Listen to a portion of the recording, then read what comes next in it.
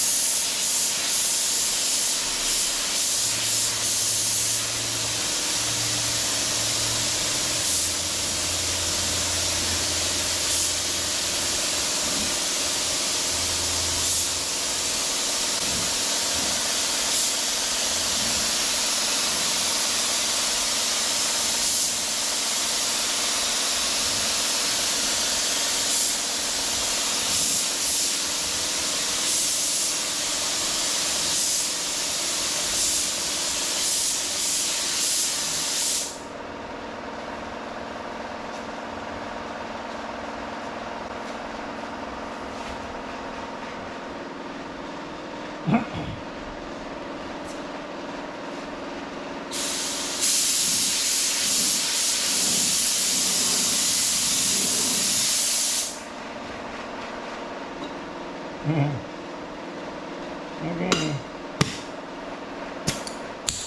right. Well, uh,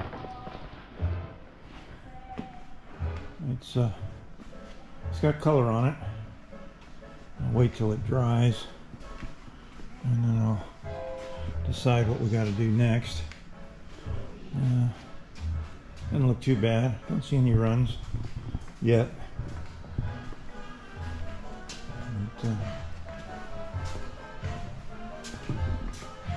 Few uh, overspray problems.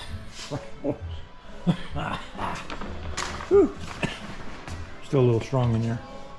Uh, this is the grill. It's ready to go back on. And I got these side panels done now.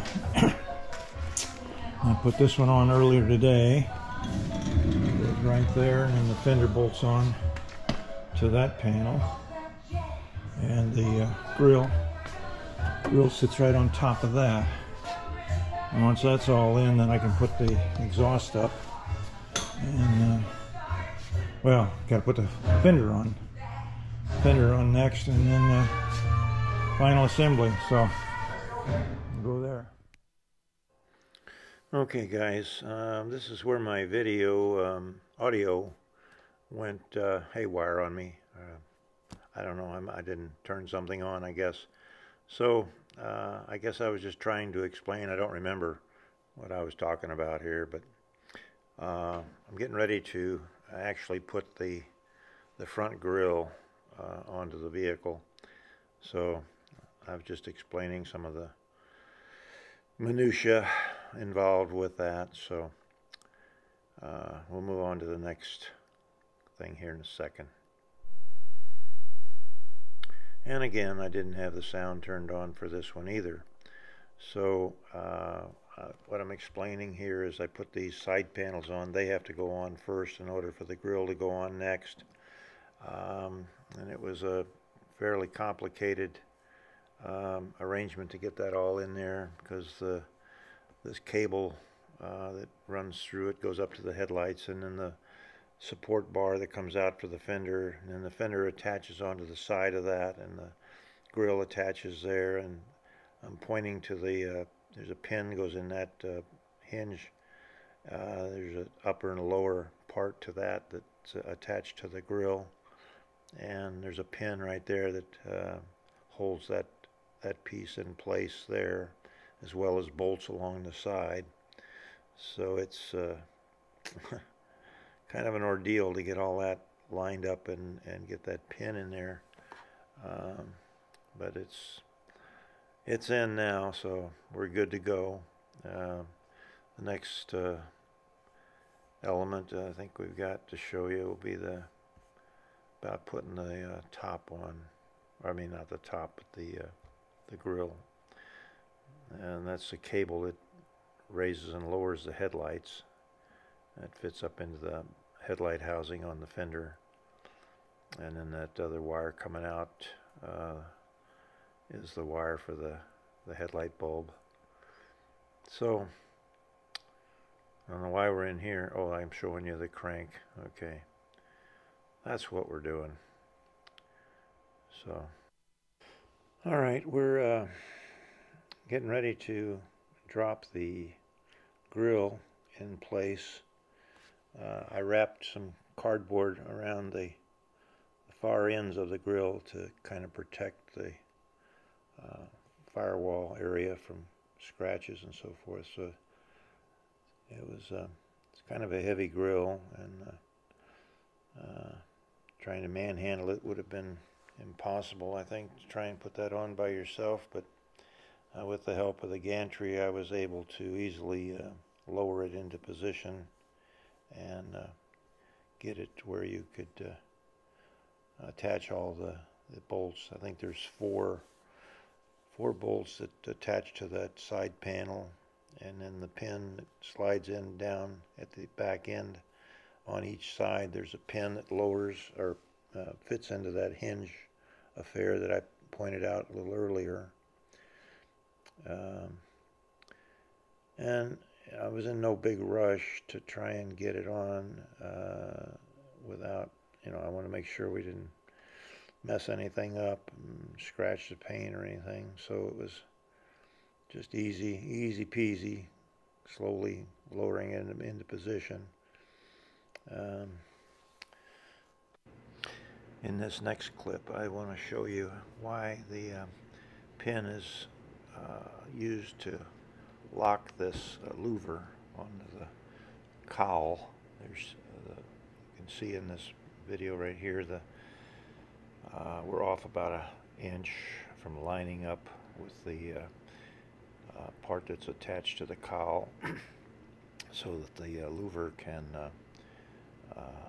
be secure there and then there's four more bolts that uh, uh, hold it down in the forward position but uh, I just wanted to show you this little clip right here to let you see that the as that pin drops in right there I'm going to put it in the hole and it just drops in but it's not lined up yet but anyway that's it hello my friends welcome to my shop my name is Steve uh, today we're getting real close to uh, getting everything painted.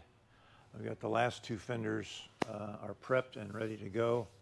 Um, I've given them a first coat of uh, paint and then we went over 1500 and sanded them. Got them all the little blemishes out we hope. Um, some of my runs. anyway, uh, I'm going to show you um, uh, a little bit of the spraying of the fenders and uh, the other day I, I, did a video on uh, another fender. I sprayed it for you. Um, but I thought maybe I'd take you over to the uh, mixing table where we stir the paint and uh, I'll show you how I put it together over there. So let's my mess. It's my mixing area where I've got all my paint and stuff, supplies. I thought I'd just show you quickly. Uh, this is a the spray gun I've been using is this uh, Master Pro Series. Uh, and the, the, nice thing about it, it comes with uh, three different nozzles.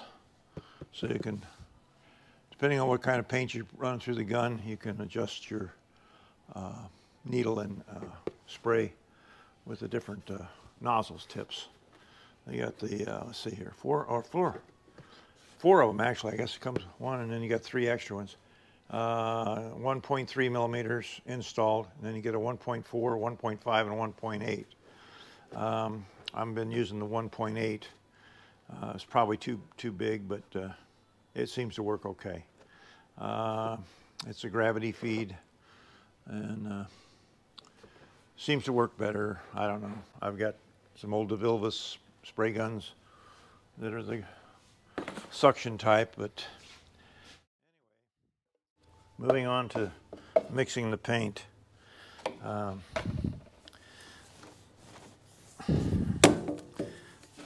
I use uh, Nason, Nissan, Nason uh, machinery and equipment. It's a uh, fast dry enamel.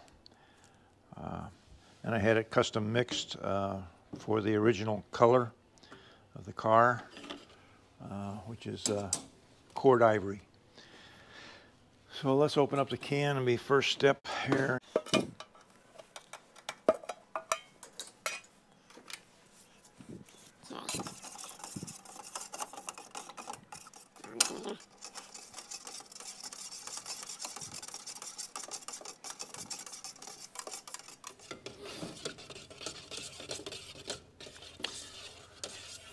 Now I mix four parts, two parts, one part.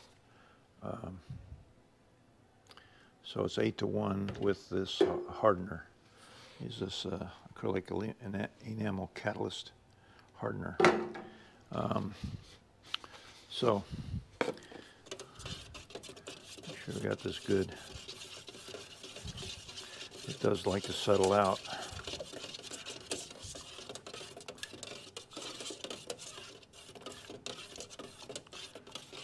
mix up a full gun today.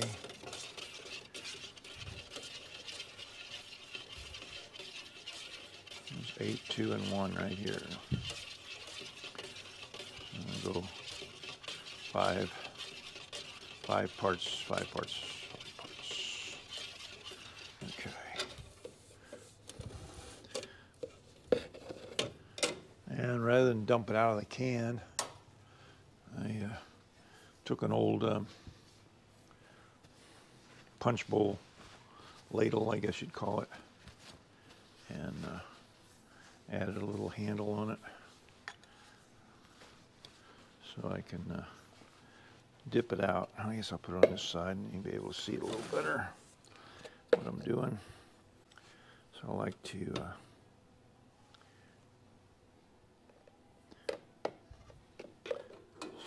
there, there.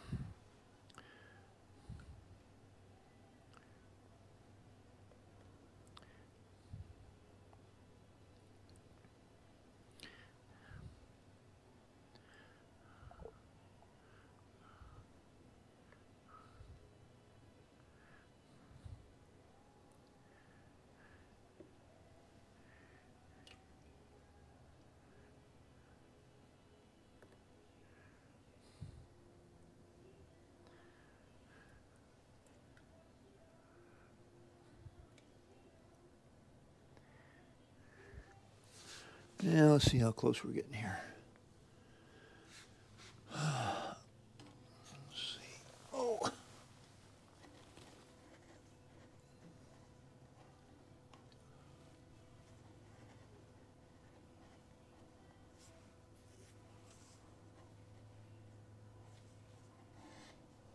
Okay, so we're at four. We need to go just a little more.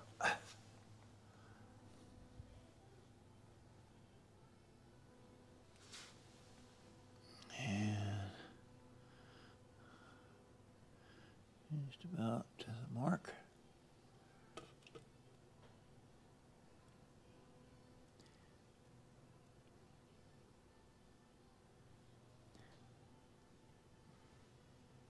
Call that good.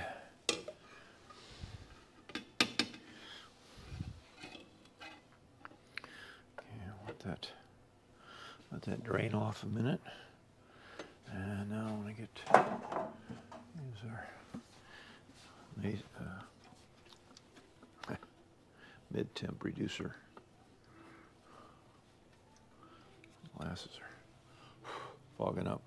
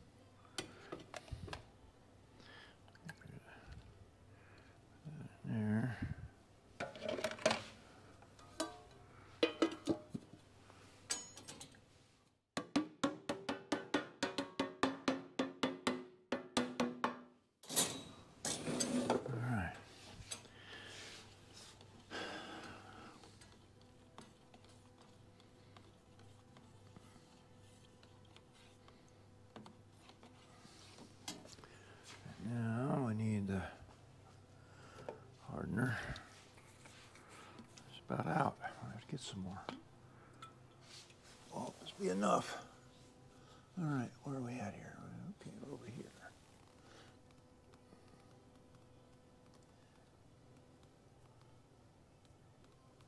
Oh boy. Well, that's all I can. All right.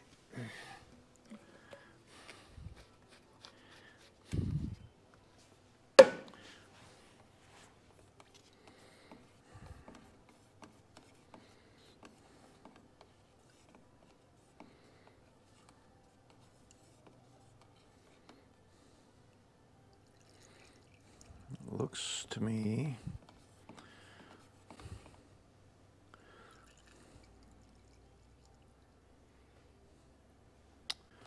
Well, it's not bad, but I think I'd like to go a little bit thinner.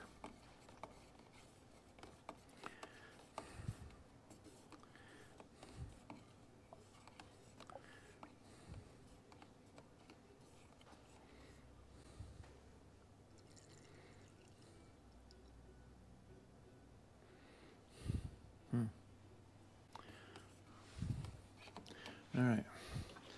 I'm gonna- I keep uh, I keep acetone in the bottom of the can so it stays uh, um, fresh, doesn't dry out anything. If there's any residue in there, it'll help keep it out.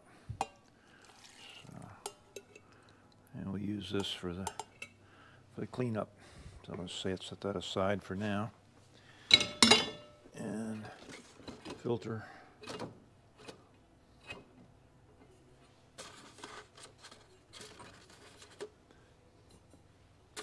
Right there.